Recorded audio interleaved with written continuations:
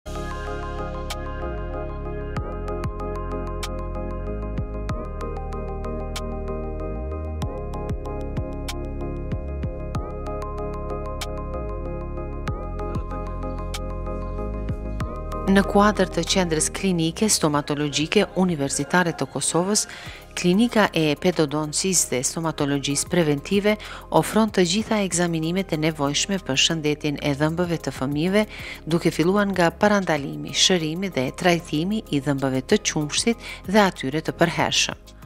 Ofron edhe shërbime protetikore dhe kirurgjike. Shërbimi ofrohet për moshat 0 deri në 15 vjeç dhe është falas. Rrezën që dy muaj e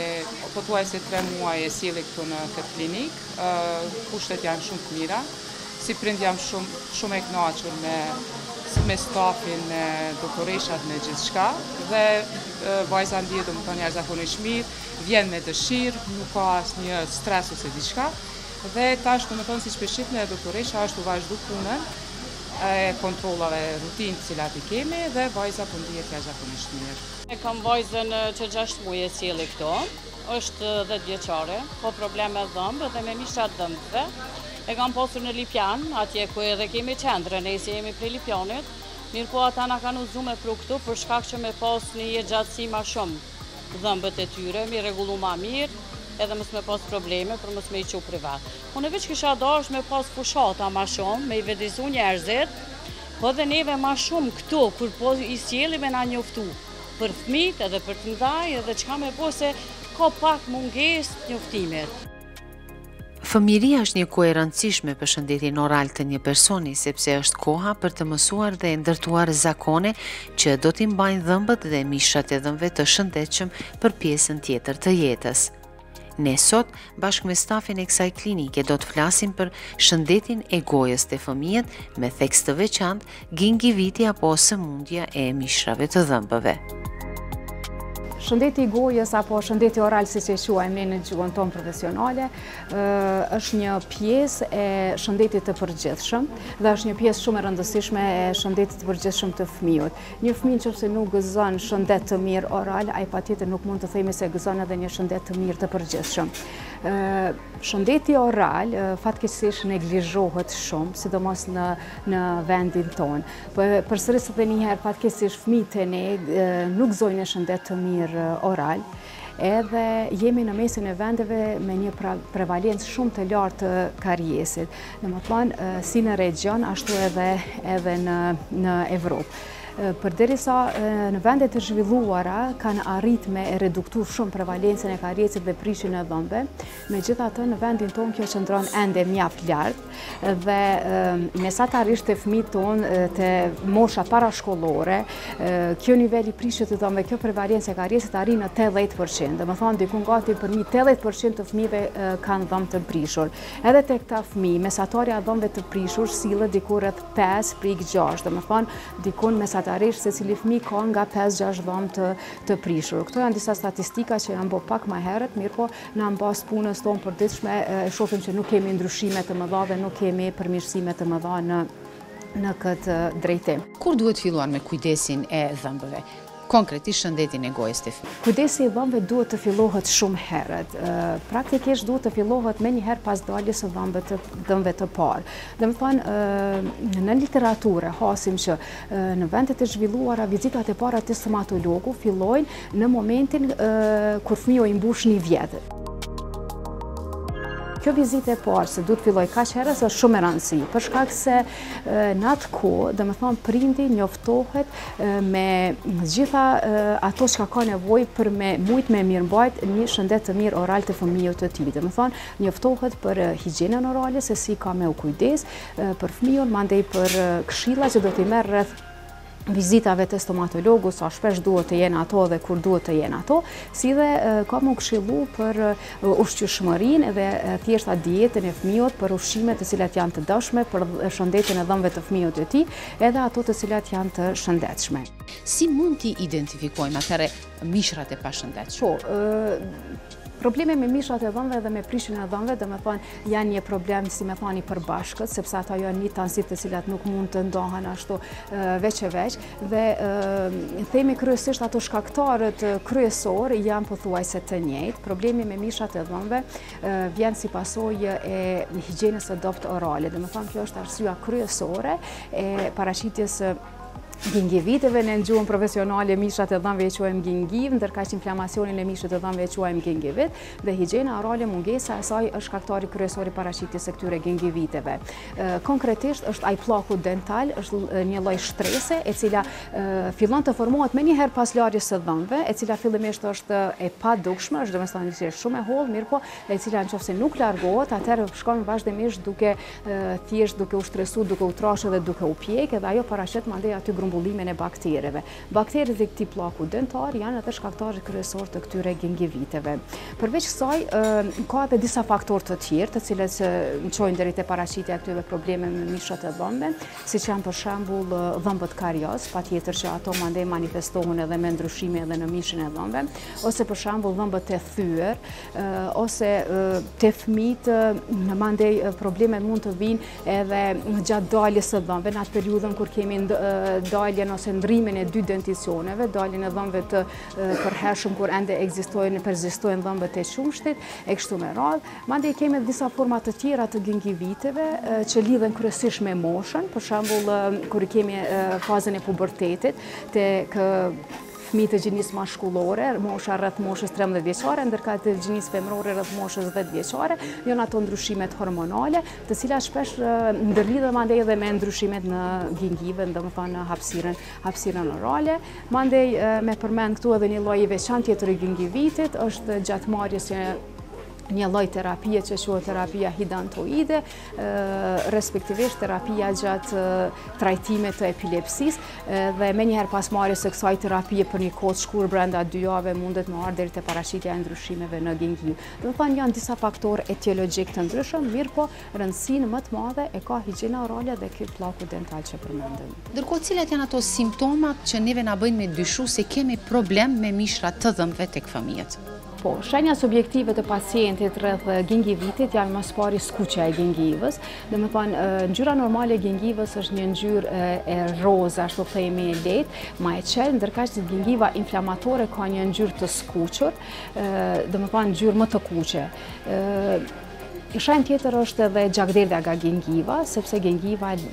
inflamatore, domethënë shumë lehtë mundet me gjakderdhë, edhe në ngacmimin më të vogël, ndonjëherë ndoshta edhe fare pa ngacmim. Tjetër është edhe ajtja, apo edema e gingivës, saqë pacienti ndonjëherë e ka edhe atë ndjenjën e prezencës së trupit të huaj në mes të dhëmbëve, për arsye se te disa lloje të gingiviteve, ajo gingivë, domethënë proliferon edhe merr edhe formën e topave gjysmë të rrumbullak në mes të në mes të dhëmbëve, në ato hapësirat interdentale që i quajmë ne. Mandej problem tjetër është edhe pengesa gjatë mastikacionit, sepse pacienti nganjëherë na përshkruan se edhe gjatë ushqyerjes ose gjatë kafshimit përtypjes së ushqimit ai ndjen dhembje dhe ka problem me gingivën.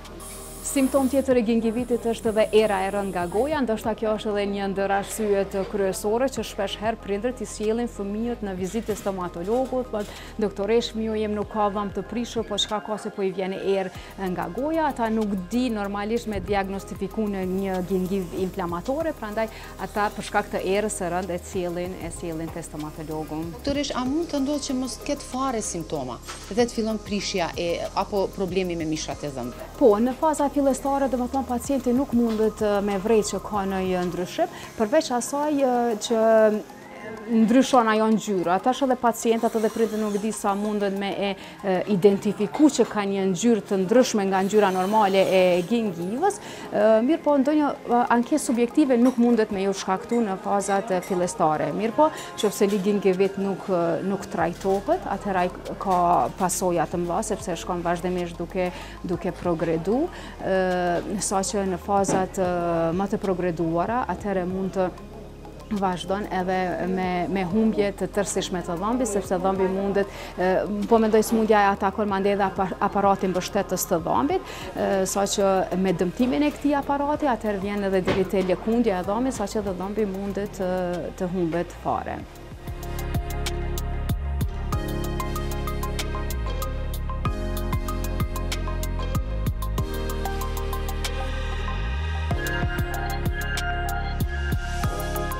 Një problem tjetër, i cili është ndoshta mjaft i përhapun si dukuri në mesin e prindërve të ri, është edhe ushqyshmëria e fmijut me biberon. Ushqyshmëria e fmijut me biberon ndikon në masë të madhe në paraqitjen apo e ndihmon në paraqitjen e kariesit të fëmijërisë së hershme, i cili edhe për atë arsye ka marrë edhe emrin si karies i biberonit, i cili lajmërohet te fëmijët në moshë jashtëzakonisht të vogël, domethënë mundet qysh prej moshës dy vjeçare me fillu paraqitet shenjat e para të tij.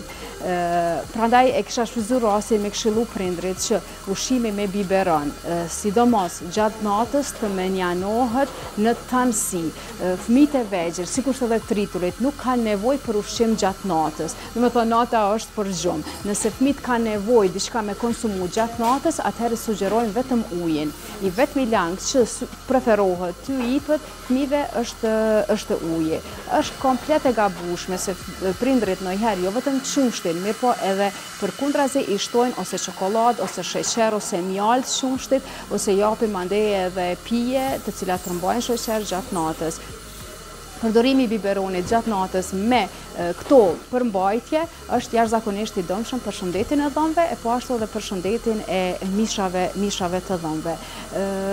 Faktori kryesor, domethënë për mos me ardh deri te Problemet me mishat e dhëmbëve, edhe te paraqitja e kariesit, është pastrimi i rregullt i dhëmbëve.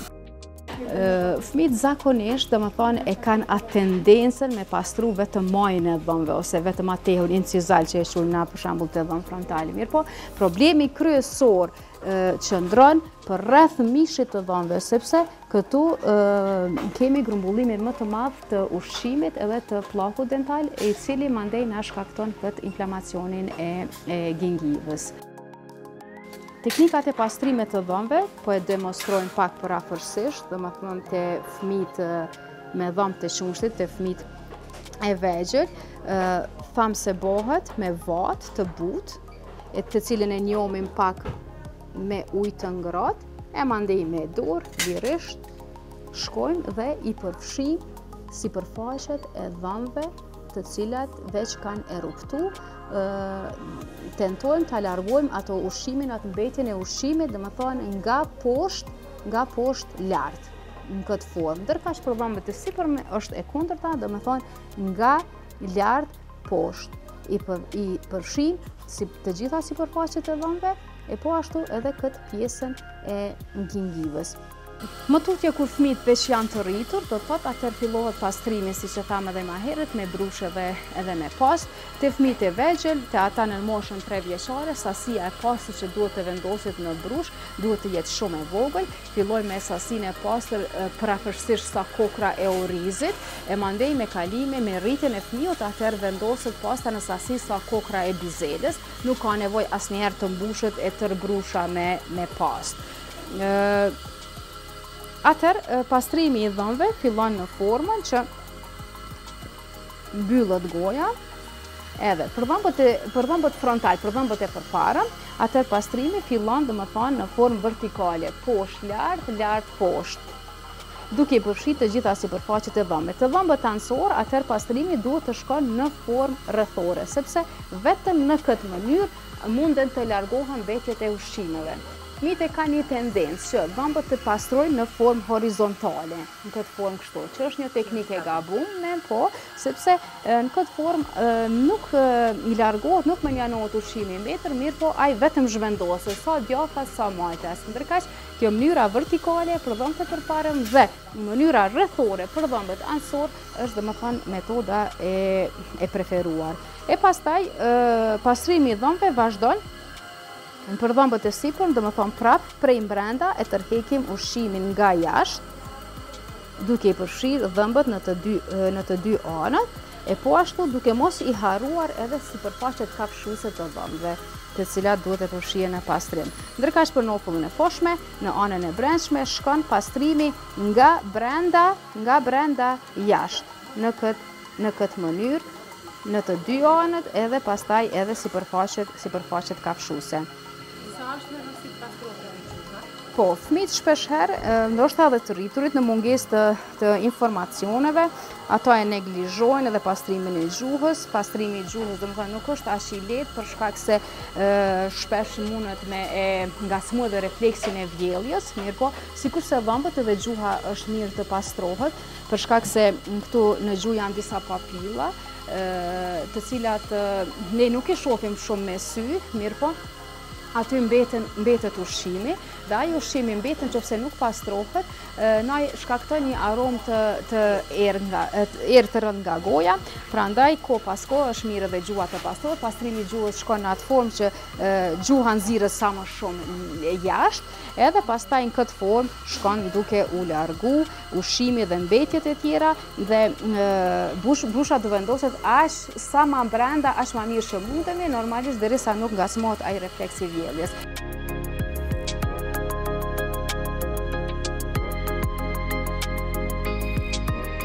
Jemi në dhomën e triazhimit për momentin e cila do ta ndërron destinimin së shpejti dhe do të kalon në dhomën e sedacionit inhalator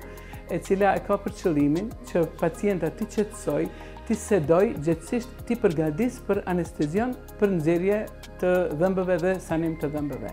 E kemi pa të pashmangshme pas renovimit të klinikës tonë që një kthinë e tillë do të na nevojitet e cila do të jetë po e promovojmë për herë të parë në Kosovë, pasi që deri tash nuk ka qenë edhe e planifikuar as me ligj dhe kemi fut rregulloren e re në të cilën do të punojmë, do të punojmë me pacientët me nevoja të veçanta. Doktoreshë meqë mishrat e dhëmbëve janë një problematikë mjaft e shprehun edhe tek fëmijët në Kosovë, atëherë po qe se nuk trajtohen me kohë, cilat janë pasojat? Ne e ndajmë e krahasojmë e dallojmë fazën iniciale, fazën themelore, kryesore, në cilën ne themi se tash kemi nevojë për intervenim është faza kur ne fillojmë vetëm me këshilla, këshillat themelore, që i themi ne të bëjmë pastrimin e thellë të dhëmbëve, të sipërfaqes të dhëmbëve,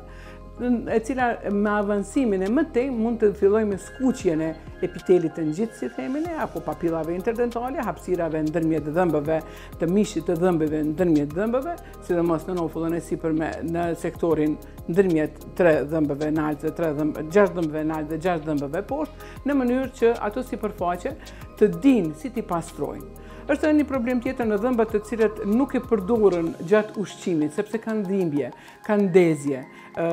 kanë janë dhëmbë nekrotik, janë dhëmbë papërdorshëm në kuptimin që fëmija heziton se ka dhimbje gjatë dhëmbit, në anën e kundërt, në nofullën e kundërt, vjen deri te depozitimi, deri te paraqitja, e një shtresi më të trashë të pllakut dentar, i cili automatikisht edhe e provokon ndezjen e mishrave të dhëmbëve. Për këtë arsye, nevojitet një vëzhgim i detajuar i të gjithë hapsirës orale, i të gjithë hapsirës së gojës, në mënyrë që të dimë se ku qëndron problemi. A qëndron vetëm te mospastrimi për shkak të dembelisë së fmijëve që i pastrojnë, si tha kolegja, vetëm pjesën atë që e sheh dhe atë që i vjen ma lehtë, dhe për kohëzgjatjen, se ajo zgjat zakonisht 30-40 sekunda, asnjëherë ma shumë se një minut, dhe të shumtën e rasteve te dhëmbët të cilët nuk vetëpastrohen, i themi ne. E dimë që gjuha, pështyma është ajo, ai uji që i ndihmon zorës, siç janë gjuha, mukoza e faqeve, buzë, të gjitha së bashku e bëjnë atë inkorporimin e fuqive, e forcave të cilat ndikojnë që mos të flenë, pllaku dentar që mos të flenë akumulimi i shtresave të ushqimit të ngelura të papastruara në sipërfaqet e dhëmbëve dhe ato të shkaktojnë inflamim apo ndezje të gingivës. Doktoreshë dhe nëse e hetojmë këtë problematikë që në fillim dhe e bëjmë parandalimin, atëherë a mund të jetë trajtimi i suksesshëm i mishrave të dhëmbëve? Po patjetër, patjetër gjitha konsiston në mirëmbajtjen e rregullt të higjienës orale. E dimë ne themi të gjithë të gjithë na na ka ënda çokolladat kush nuk i han, ëmbëlsirat kush nuk i han, po pastrimi i dhëmbit pas çdo marrje të një shujte, sidomos të ëmbël, e cila flen e themi në sipërfaqen e dhëmbit, ajo është shumë e dëmshme, sidomos te dhëmbët e ri, të cilat posa dalin, ata janë shumë janë të disponum për me mujt me pësu prej pllakut dentar edhe me një mënyrë Për me mujt me vujt edhe gingiva përreth tyre. Mirë, mirëpo ka raste kur prindët thonë se janë mjaft të kujdesshëm sa i përket shëndetit dhe gojës tek fëmijët, qoftë në higjienë, qoftë dhe në probleme tjera, mirëpo megjithatë fëmija vazhdon të ketë probleme me mishrat e dhëmbëve. Pse ndodh kjo? A mund të fshihet diçka prapa kësaj? Po mundet edhe mospërdorimi, ju thashë i anës adekuate të dhëmbëve, mundet mundet me ndonjë smundje e cila i paraprin ndonjë patologji e përgjithshme, për shembull diabeti, e zakonisht shkon me shtresime, mundet me shku, s'po shkon gjithmonë, po e mundet me shku me ndonjë shtresim, ma të theksun, për shkak se mishrat e dhëmbëve janë më të skuqura, janë më të ndishme, edhe zakonisht fëmija heziton, në momentin kur shef gjakosje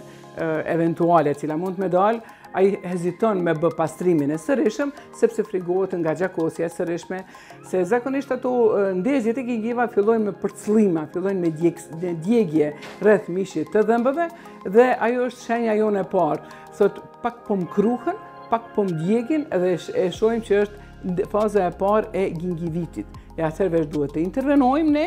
të eliminojmë pllakun dentar në tërësi dhe të mësojmë fëmijën se si të bën pastrimin në rregull, në mënyrë që mos shkon, mos të avancon më tutje, sepse gingivitet, Në fazë të avancuara, i hasim edhe jo vetëm te fmijtë e shëndoshë, te fmijtë të cilat kanë nevoja të veçanta, të cilat nuk mund t'i trajtojnë në mënyrë të rregullt, fmijtë të cilat kanë, kanë patologji të përgjithshme, po kanë edhe fmijtë që kanë që mbajnë aparate ortodontike, qofshin ato mobile, qofshin ato fikse, mu për shkak të mosdijes së mjaftueshme se si të mirëmbahet higjiena orale. Një pyetje tjetër ndoshta që kish qenë në interes edhe të prindëve, kjo problematika e mishrave të dhëmbëve, a mund të jetë ngjitëse, meqë fëmijët tash shumica janë edhe nëpër kopshte? Jo. Fatmirësisht jo. Ajo është diçka individuale, ato ngjitëset janë patologji tjera, të cilat i përkasin patologjive si për shembull stomatite që i themi ne ndezjet, të cilat paraqiten në çdo disbalans të organizmit në çdo temperaturë, në çdo rënie të imunitetit të fëmijëve, shkojnë me temperatura paraprake, shkojnë me molisje të fëmijut, shkojnë me dhe me shenja tjera klinike, sikur çdo smundje tjera infektive, ato janë ngjitëse. Nëse fëmiju han me të njëjtën lugë, nëse fëmijët i përdorin të njëjtët peshqirë, të njëjtën rubinetë, aty ku e pastrojnë gojën, e tjera kështu me radhë, mirëpo edhe përqafimet e tyre, ndërmjet tyre munden me qenë, munden me qenë ngjitëse, jo gjithmonë, munden me qenë ngjitëse, varësisht nga imuniteti se sa fëmija mundet me e akceptu, mundet me pranu atë patologji. Ndërkaq a ka ndonjë lloj vitamini, të themi ashtu mungesa e ndoj vitamini që mund ta sjellë këtë problematikë? Pikë kyçe në paraqitjen e pllakut dentar dhe në avancimin e tij në gingivit, në patologji, është edhe marrja e tepërt e ushqimeve të buta te fëmijtë. Fëmijtë hezitojnë që të hanë mollë, më shumë e hajnë një krem banane, një çokolatë, një çfarëdo qoftë ushqim i butë, që i themi ne ushqime kariogjene, ushqime të cilat edhe jo vetëm e prishin, të cilat shkaktojnë infeksion, ndezje. ndezje të mishrave të dhëmbëve, po edhe shkaktojnë kariesin, e avancojnë kariesin si patologji shumë multikauzale, shumë shkaktarshe. Këshilla ime, ato që e promovoj në çdo vend, në çdo kënd, në çdo me specializanta, si mentor që 20 e sa vite, është që pedodontat janë shkalla e parë e shëndetit oral. Prej fillimit, nana e shtatzan duhet me ditë se çfarë ushqimi konzumon, çka i bën dëm, çka i bën keq. Pastaj, prej momentit në çdo këshillimore e ka vendin pedodonti, dhe që të këshillon nanat momentin kur fillojnë me i dalë dhëmbët edhe pa i dalë dhëmbët, se si ta mirëmbajë shëndetin oral të fëmijëve. Në momentin që fillojnë me dalë dhëmbët nëpër kopshte, nëpër institucione parashkollore, patjetër, të mos t'i shmangen pranisë së pedodontit. e institucionet shkollore mos të flasim. Praktika e pranisë së mjekut shkollor të paraluftës, siç ka qenë dhe një kohë shumë të shkurt të pasluftës, është ndërprerë fatkeqësisht. Prandaj kisha apelu që patjetër, ama patjetër të vendosin stomatologë nëpër shkolla.